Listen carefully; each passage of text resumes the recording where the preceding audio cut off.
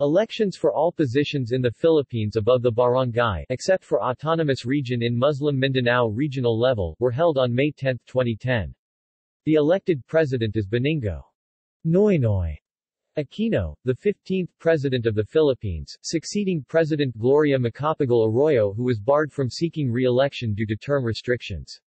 The successor of Vice President Noli de Castro is Jejomar Binay, the 15th Vice President of the Philippines.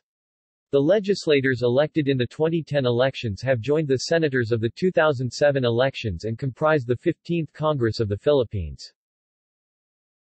The 2010 election was administered by the Commission on Elections COMELEC, in compliance with the Republic Act No. 9369, also known as the Amended Computerization Act of 2007.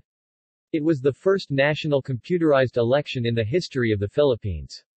Although there were cases of precinct count optical scan PCOS machine failures, there was no postponement of elections since most technical issues were resolved by election day. Despite the fact that some provinces have reported failure of elections, these have not surpassed the 0.50% of the total number of PCOS machines, and most were replaced on time. Local elections were held in all provinces, cities and municipalities for provincial governors, vice-governors and board members, and city, municipal mayors, vice-mayors and councillors. There were more than 85,000 candidates for 17,000 national and local positions and it is believed that the youth had the swing vote in this election as 40% of voters are 18 to 35 and there are a potential 3 million first-time voters. Background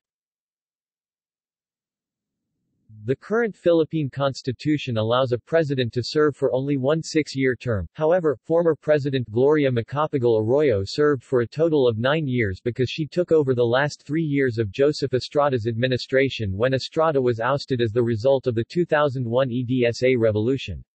In 2004, Arroyo won the election and finished her six-year term in 2010. General issues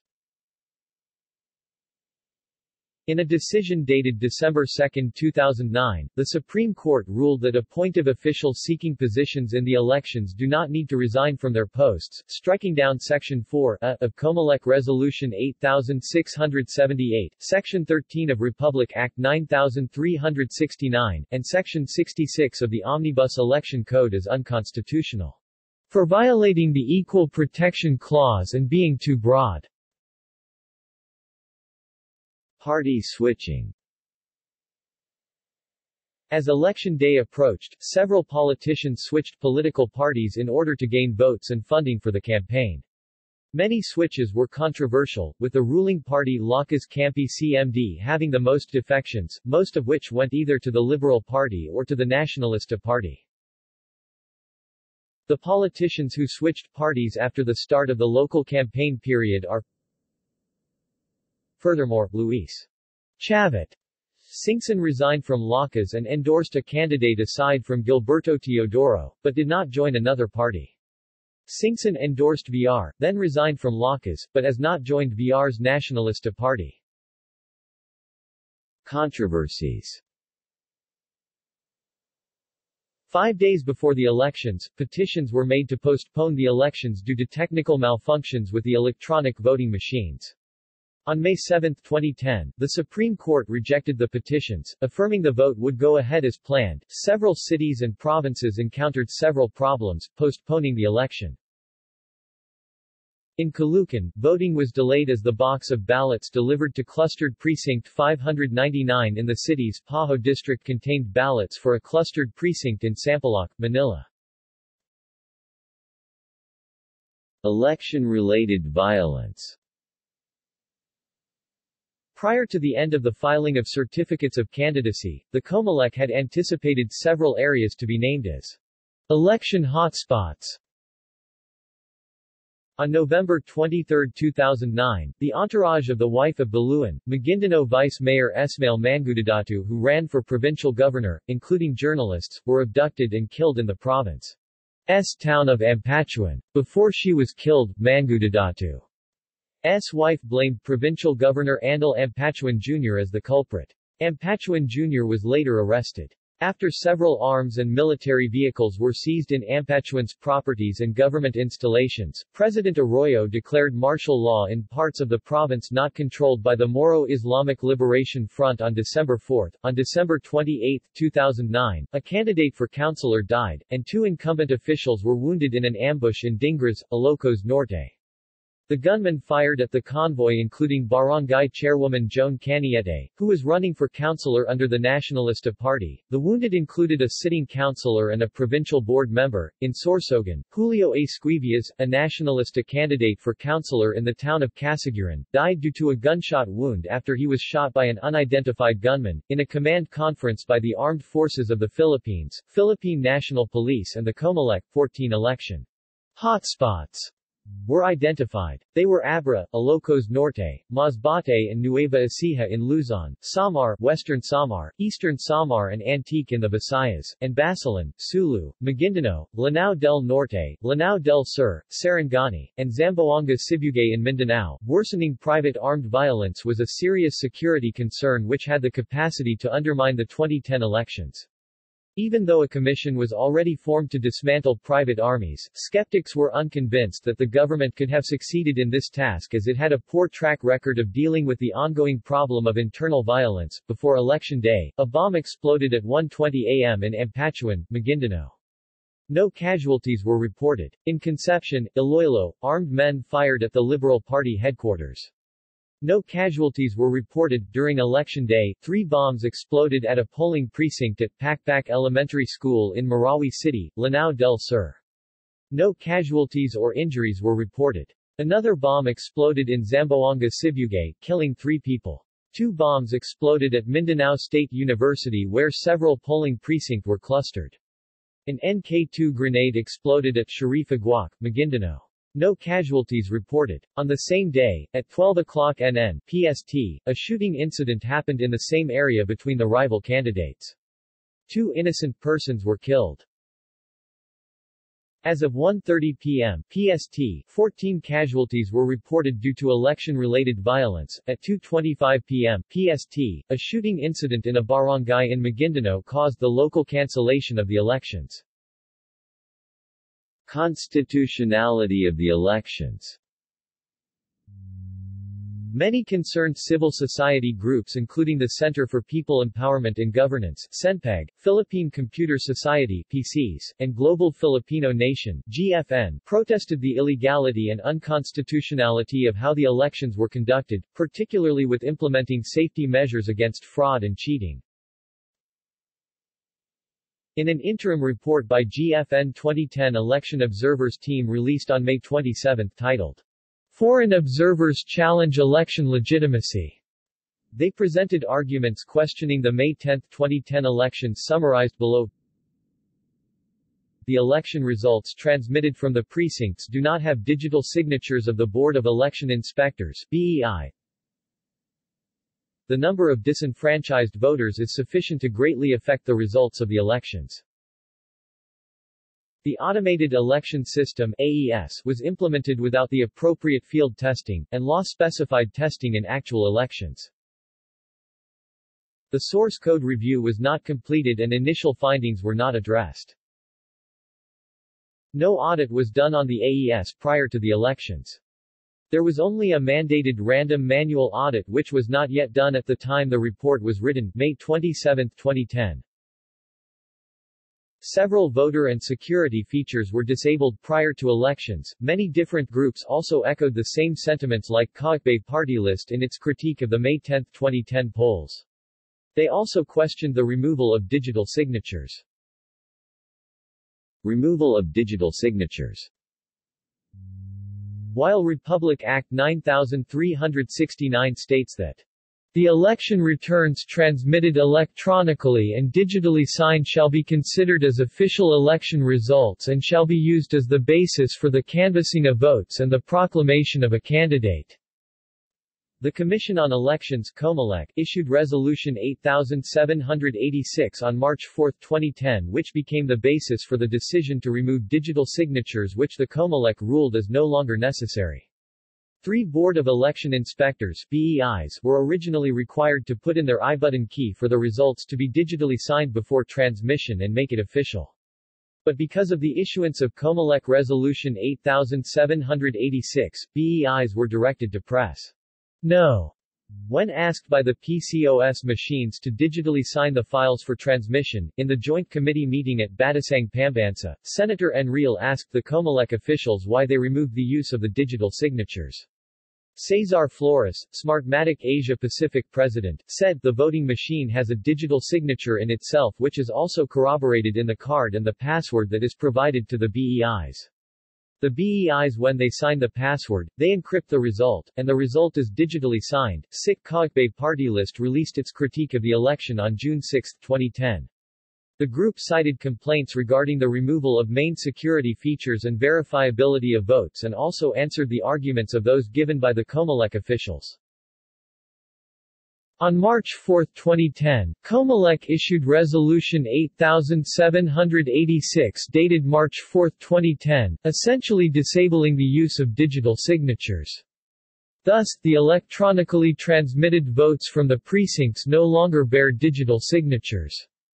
Several excuses were given by Comelec ranging from PCOS machine signatures being equivalent to digital signature, which of course is not true. Use of digital signature will require another P1 billion, as if digital feature is not included in the P7.1 billion contract, reducing transmission time. How less than 1 minute signing digitally will reduce much a transmission of about 30 to 60 minutes, and the PCOS I button and BEI personal identification numbers PINs are equivalents, of course, not.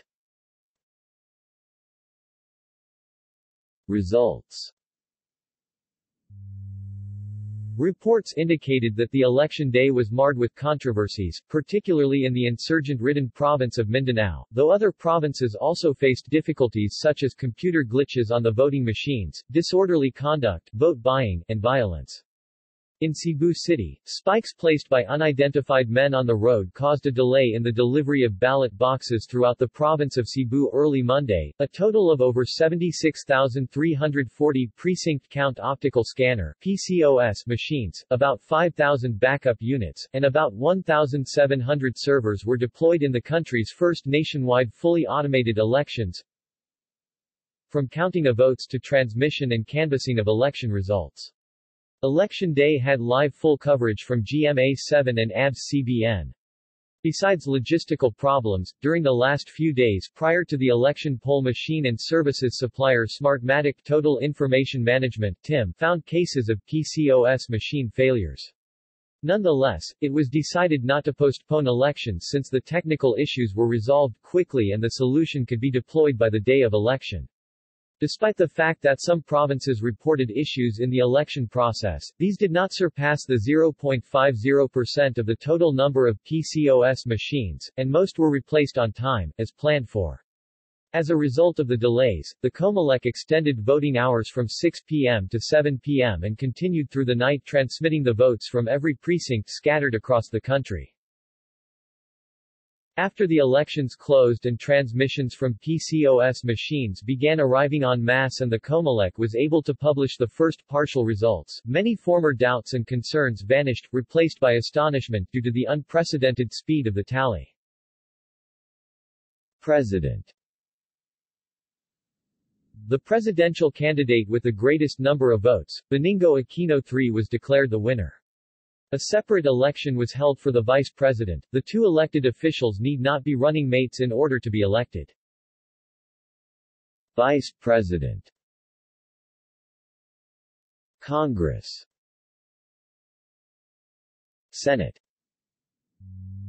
One half of the Philippine Senate was up for election. The Philippines uses the plurality at large voting system for the Senate race.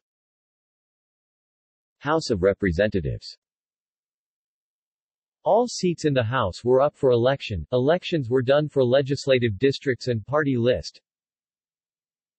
Asterisk There are more nominees listed in case one of the first three nominees are either disqualified or are removed from office.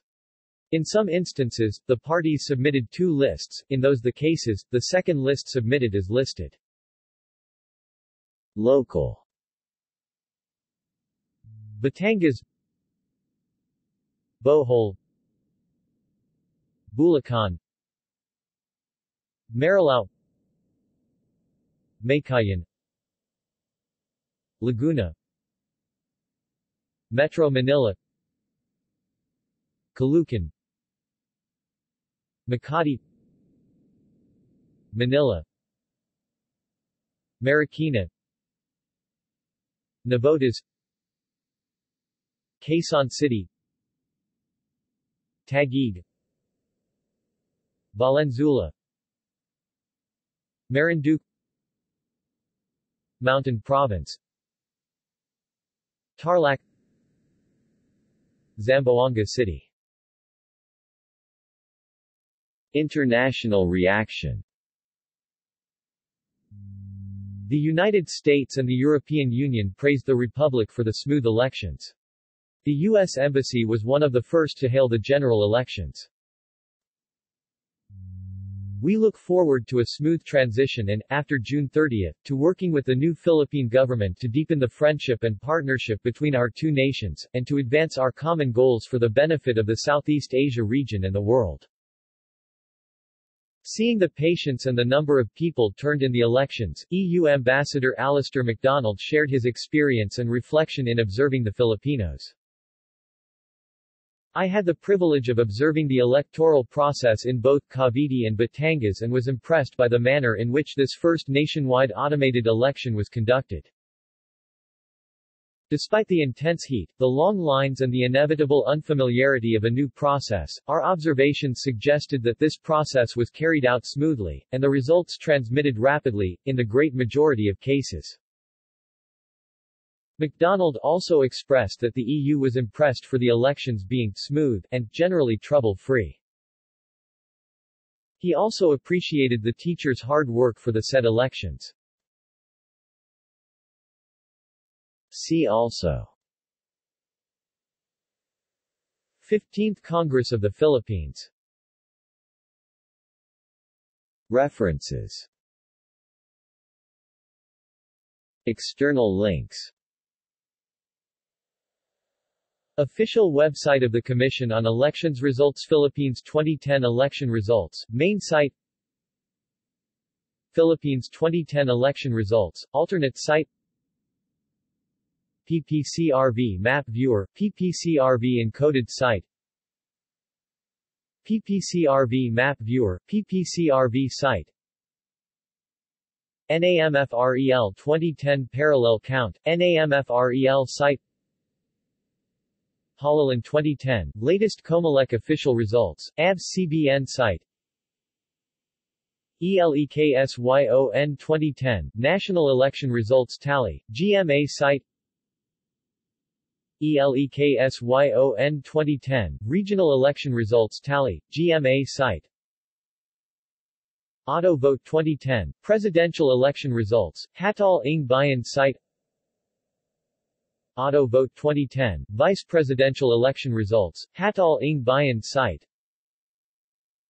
Auto Vote 2010, Senatorial Election Results, Hatal ng Bayan site. The Vote 2010 election results tally Bombo radio site